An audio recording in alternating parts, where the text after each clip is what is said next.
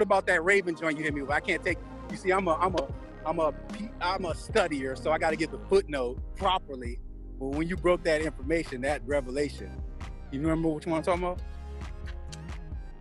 What the, the uh, oh the, the raven operating out of its uh its natural habitat and being With- instead instead of With being Elijah. oh yeah with Elijah because typically ravens aren't a servant servitude they're not servants but yet still that's what God used to bring and to, to feed his servant the raven in the middle of a famine.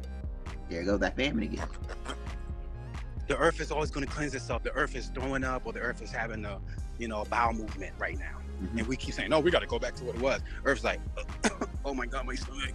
Oh, oh.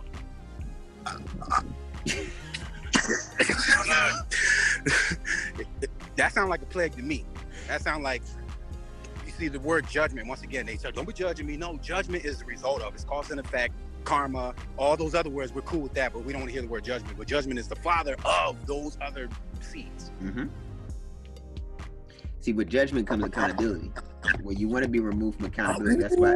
That's why the language. When you abuse language, they understand it because certain words mean certain things.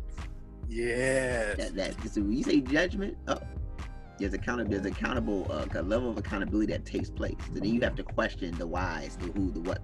What did I do? So therefore, don't judge me means oh, you're not God. You're not perfect. Don't look Right. at to deflect.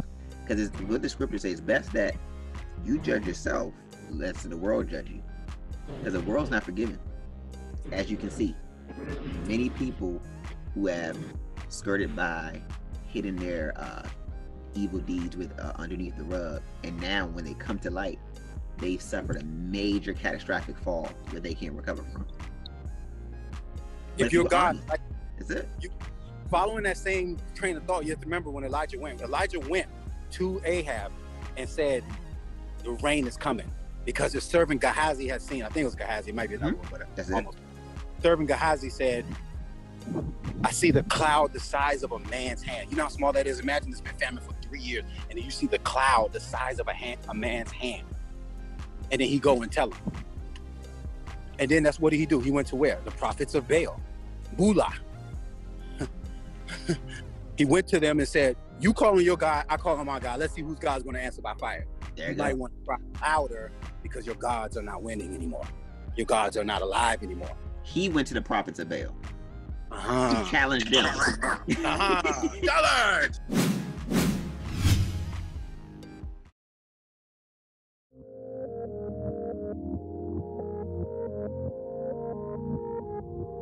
Light and changing cultures to me is about creativity and individuality, and also just about your influence and the impact that you're going to leave once you leave the earth. Carbonado meets Black Diamond is all about celebrating black culture and celebrating our creativity as well as supporting black owned businesses and entrepreneurship. Bringing light and changing cultures.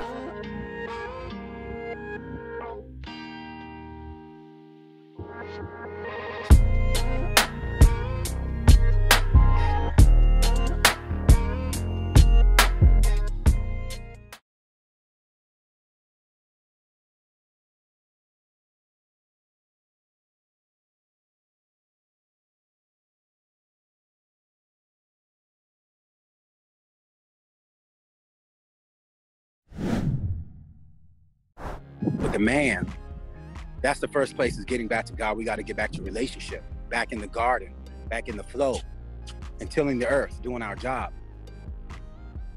Or the earth is going to keep keep putting us in the shape. So it says, "Come and tell me, and take care of me." And once you learn how to, like we were saying earlier, if you learn how to take care of the earth, then you know how to take care of the goddess of the earth, as someone would like to say, or the woman, because she is a replication in flesh of the earth itself.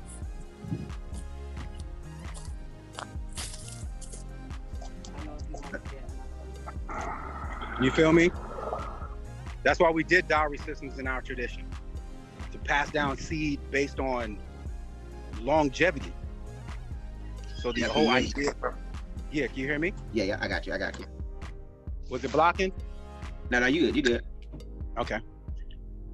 You dig what I'm saying though? Yeah, yeah. Because even right now, You know, because you, you even you just talked about something uh, the man uh, the man see and even paying attention to who you even have relations with. Because Mhm. a lot of it, you know, a lot of it sometimes stems from a man's pain. So he feels like he has to conquer something, or he or he has to he, he falls right back to the very thing that he shouldn't be doing and depositing. So he, he's going is actually a form of abuse if you think about it. It's, it's it's gratifying the flesh, but it's a form of abuse because it's turning your pain into something else, and you're utilizing, objectifying or utilizing a female woman that you don't know anything about. Spirit ties nothing. And you think, Man, we used to go on the road and they'd be like, I'm gonna knock this joint down. I don't care if I don't got no condom on. What? what? She fat, dog. You know what I'm saying? She this. And I'd be like, yo.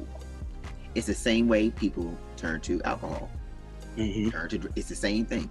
Same way people turn to religion. It's it's like a fix for a, a moment of gratification because you want to almost have that out of earth reality.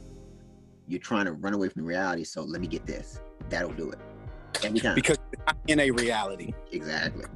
We're not in a so it makes you mentally it throws you off but that is a part of the, the psychology of that thought process and culture. See i don't worry about c- color because it's thought process and culture. Mhm. race is just a byproduct. They, that's just easily used. That's that's antiquated too. Everyone has two feet you know come on.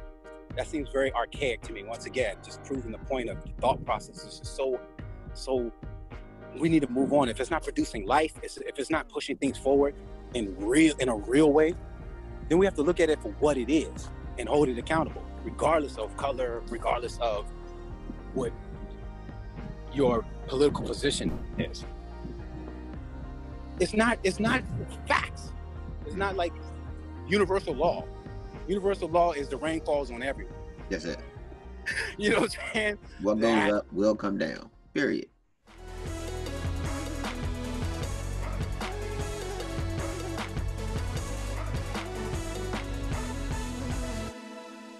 Thanks for tuning in. If you enjoyed the show, we would love your support. Visit our Facebook page, hit like, and follow on Instagram and Twitter. Until next time.